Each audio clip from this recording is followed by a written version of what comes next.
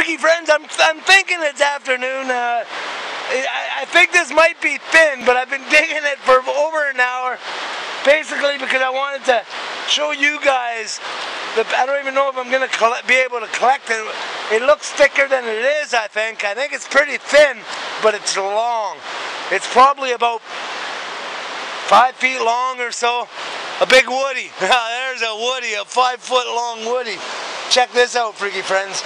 Oh, like I said, well, probably over an hour digging. Uh, and I'm now I'm thinking it might just be thin, but I'm hoping I'll be able to pop it out and get something to collect and glue it together. Check this out.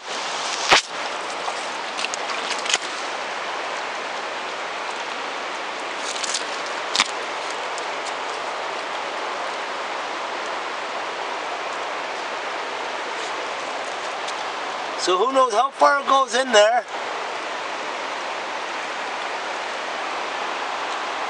You can see Doritos and stuff going through. Not Doritos. I could use some Doritos now. I'm kind of hungry. But, uh, okay, freaky friends. Now I'm going to try to pop this out. And uh, hopefully it won't be too many pieces. Well, I think before I dig this out, I'm going to see if I can find an ammonite, then I'll come back and dig this out because I'm going to be a while yet.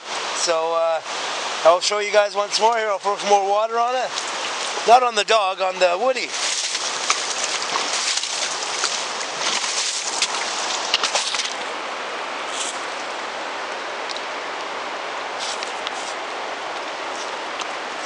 Yeah, I don't always collect woodies, but when you see them that big, you gotta see what you can get. I tell you, freaky friends, because uh, that looked nice hanging up on the corner of my uh, wall, hey, up about this high.